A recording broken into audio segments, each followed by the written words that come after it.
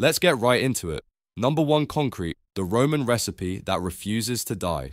You know that stuff holding up your parking garage, your apartment building, and probably the sidewalk you tripped over last week. Yeah, concrete. The Romans were slapping this stuff together over 2,000 years ago, and not the weak crumble if you look at it wrong kind we sometimes get today, their version has been outliving empires. Picture ancient Roman engineers mixing volcanic ash lime and seawater while wearing those dramatic togas. The result concrete so durable that some Roman harbours are still holding strong despite being battered by waves for centuries. Meanwhile, modern concrete sometimes cracks faster than a bad relationship. Scientists have found that Roman concrete actually heals itself when it gets small cracks. Yeah, self-repairing, like your phone screen could only dream of doing. The secret. Those volcanic minerals react with water over time sealing the gaps. It's basically the sourdough starter of building materials, keep it alive and it keeps giving back. So next time you walk past a crumbling building, maybe whisper to the architect, Psst, have you tried going full Roman? Number 2. Aqueducts, ancient plumbing that puts some modern cities to shame. Imagine having no running water. Now imagine you're in ancient Rome and suddenly there's this giant graceful stone bridge just pouring fresh water into your city. No pumps, no electricity, just gravity baby. Aqueducts were the Uber Eats of water delivery. They carried it from miles away over hills, across valleys, straight into fountains, public baths and private homes. Some of these things stretched for over 50 miles and kept water flowing 24-7. Here's the wild part. Some aqueduct systems are still in use today. Cities like Segovia in Spain basically looked at their 2,000 year old water bridge and went, yeah, still works, don't touch it. Modern engineers still borrow the basic principle elevate water at one end, tilt it just enough, and let gravity do its slow, magical thing. It's like the lazy river at a water park, except instead of drunk tourists in floaties, it's carrying life sustaining water to thousands of people. Number 3. The Antikythera mechanism the OG smartwatch.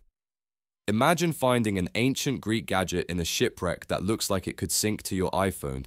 That's basically the Antikythera mechanism. Built around 100 BCE, it's a complex system of bronze gears used to track the positions of the sun, moon, and planets and predict eclipses. It's not just, oh, the moon will be up there somewhere level of prediction. No, this thing had pinpoint accuracy made without modern tools computers or even duct tape. It's like someone in ancient Greece saw the night sky and thought, I'm going to build a pocket-sized NASA.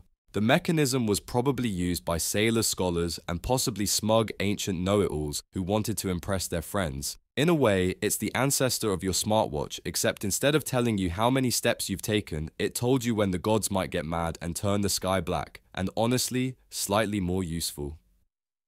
Number 4. Roads, when straight lines change the world. You've probably driven on a road so riddled with potholes it felt like off-roading through a war zone. Now imagine being in 300 BCE and traveling on a road so well built that parts of it still exist today. The Romans didn't just build roads, they engineered them, layers of rock, gravel and sand topped with perfectly fitted stones, and they built them straight. None of this winding nonsense, they'd literally cut through hills to keep a direct line. Their motto could have been, shortest distance between two points is a Roman road and they worked troops, merchants, and gossip traveled at record speed for the time. Without them, the Roman Empire might have collapsed faster than a bad Jenga tower. Modern road building still borrows their layering techniques, so every time you're stuck in traffic, you can thank the Romans for inventing the system, and also curse them because, yeah, they started this whole roads everywhere thing. Number 5. Glass, the ancient Instagram filter for life. You ever look out of a window and think, wow, what a simple, obvious invention? Yeah, ancient people thought the same thing, except, you know, they had to invent it first. Glassmaking goes back at least 3,500 years with the ancient Egyptians and Mesopotamians cooking up the first wobbly, slightly cloudy glass pieces. By Roman times, they'd perfected it enough for windows bottles and drinking cups. Imagine being a Roman sipping wine out of a glass goblet, judging the plebs with their clay mugs.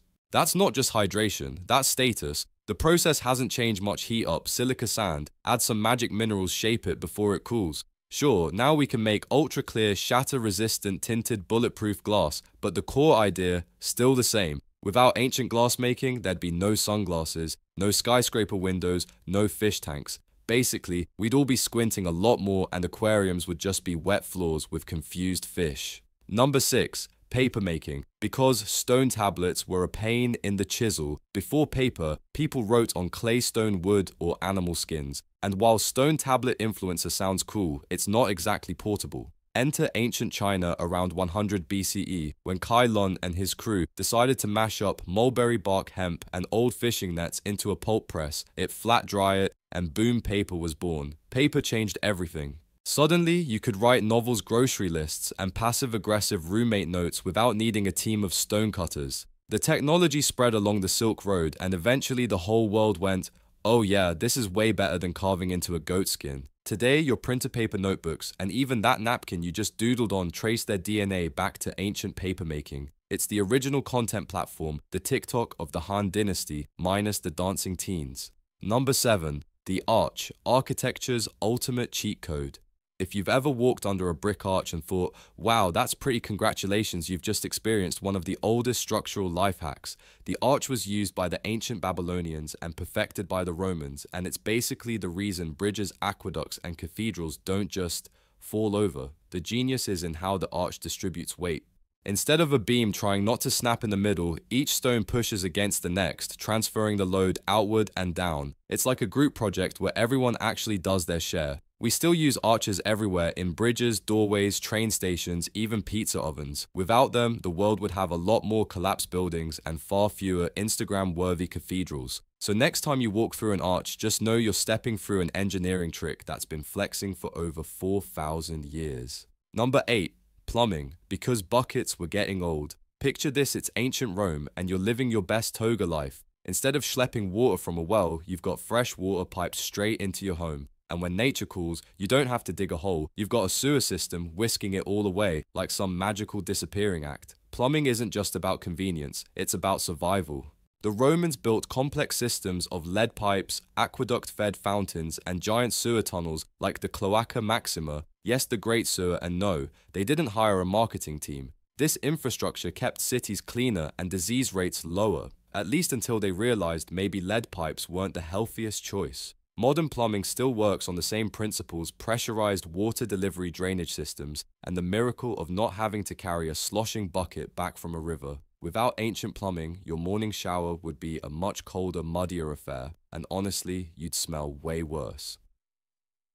Number 9. Windmills, the original green energy. Long before solar panels and wind farms dotted the horizon, ancient Persians around 500 and 900 CE figured out how to harness wind power. Their windmills were vertical axis designs looking like giant rotating doors, grinding grain and pumping water without a single drop of gasoline. It's hard to overstate how revolutionary this was literally turning invisible air currents into mechanical muscle. Farmers could produce more food mill grain faster and avoid spending hours cranking heavy grinding stones by hand, which meant more time for, I don't know, ancient Netflix. Today's sleek wind turbines may look like sci fi props, but the concept is still the same Capture moving air, turn it into motion turn, that motion into something useful. Ancient windmills were basically the Prius of their time, efficient, eco-friendly, and a little bit smug about it. Number 10. Calendars, the ancient spreadsheet for time. Before calendars, humans just kind of guessed what day it was. Is it planting season? I don't know, ask the sun. Ancient Egyptians, Mayans, Babylonians, and pretty much every civilization worth their salt figured out systems to track time seasons and big events. The Egyptians used a 365 day solar calendar. The Mayans had an insanely precise system combining solar and ritual cycles, and the Romans gave us the Julian calendar, which eventually evolved into the Gregorian one we use now. These weren't just for marking birthdays, they kept agriculture festivals and tax collection running smoothly. Without ancient calendars, you wouldn't know when to pay rent when your favorite holiday is or when your dentist appointment is coming up, which honestly might be a perk. They were humanity's first shared to do list, and we're still living by their structure today. That's all for today. I'll be making similar videos in the future. Subscribe to see them.